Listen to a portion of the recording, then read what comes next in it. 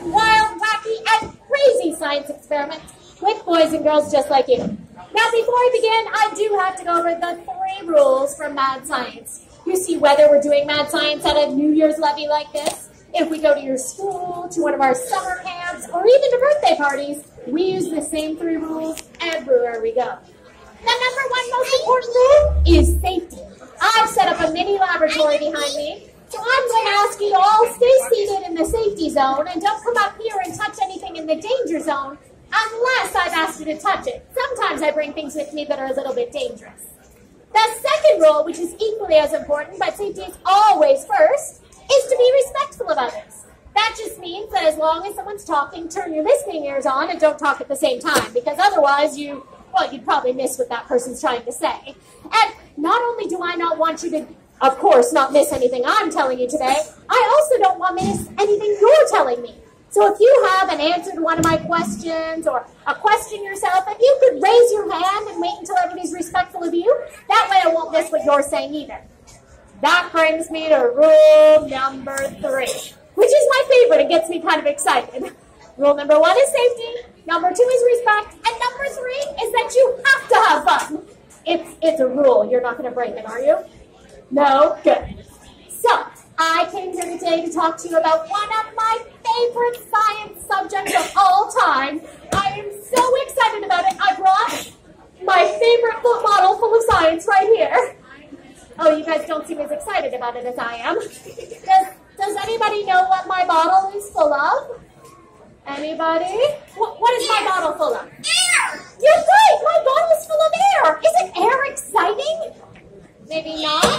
I, I thought it was so exciting because it takes up all the space everywhere and it weighs so much and it's... You guys are looking a little confused. Do you not believe me that air takes up a lot of space? And did you not believe me that air weighs a lot? Have you ever tried to hold up the weight of the air before? Everybody hold your hands up in the air like this. Can you all hold that air up? Look at how strong you are. You guys are like like superheroes holding up all that air. Doesn't feel so heavy, does it? But how about if I do some experiments to prove to you that air does take up a lot of space and that it does weigh a lot? Would you like that?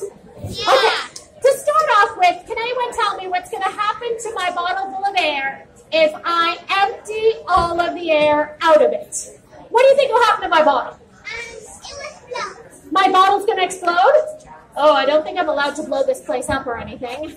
Are you sure? How about if I test it? Does anyone think that I could take all the air out of my bottle? Let's see. Ready? Set. How come the air is not coming out of my bottle? Yes. Because air is everywhere. Oh, I see what you're saying. So as fast as I take the air out, the air is going back in, right?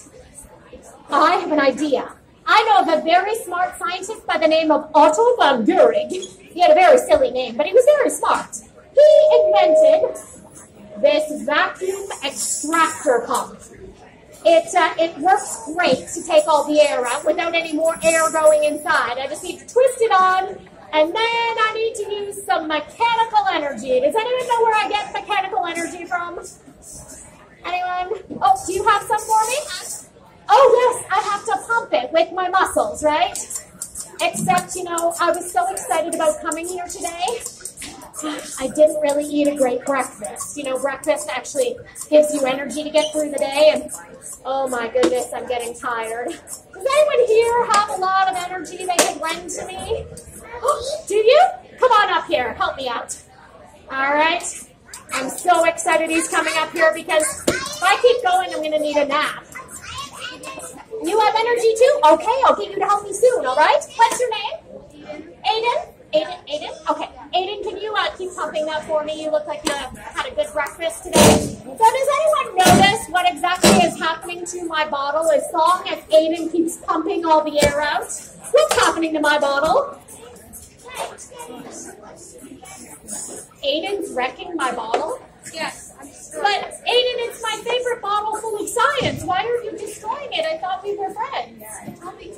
Oh, yeah, I did say you pumping, didn't I? Well, you see, I think, Aiden, the problem is that we're taking out all the air and the bottle's getting squished and I don't really want to totally destroy it because then I wouldn't have it to do all my other science experiments. So, Aiden, how do I fix this? Put air back in it. Okay, should we maybe stop pumping? Okay, and maybe I'll just take the lid off. Do you think the air will go back in?